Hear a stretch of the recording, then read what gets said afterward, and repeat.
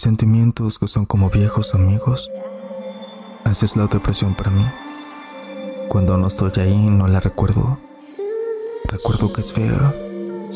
Recuerdo la oscuridad, pero es diferente sentirla de nuevo. Es la diferencia entre recordar una habitación que de hecho cruzar por la puerta estar de nuevo adentro. Sentirla. Cuando inicia un episodio puede ser lento. Un pensamiento intrusivo como no quiero estar aquí pero se va.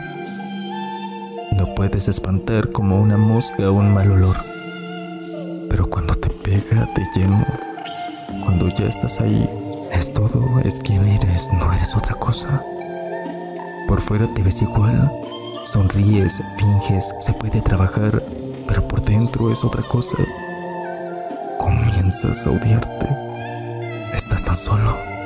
Tan increíblemente solo. Y puedes estar con alguien más, pero realmente no estás con ellos. Y creemos conocer a los demás, pero no es así. En realidad nunca sabrás qué pasa en la cabeza de alguien más. Todos luchan una batalla que no ves. Todos tenemos puntos ciegos.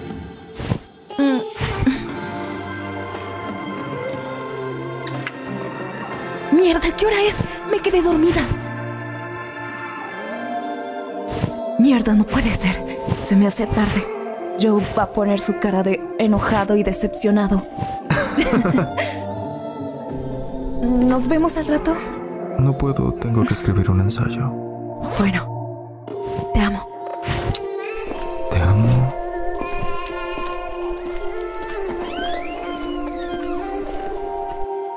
¿Y sabes que eres tú? Te pasa algo malo y también es cansado. Está de la mierda y es cansado y desesperante. Te anula y existir te quita demasiada energía. Quieres hundirte en un agujero en donde nadie te hable y no tengas que sonreír o hablar o ser. Como dije, me es familiar. He estado aquí antes, he salido antes. Pero la parte en la que sales es como la habitación que recuerdas pero no estás.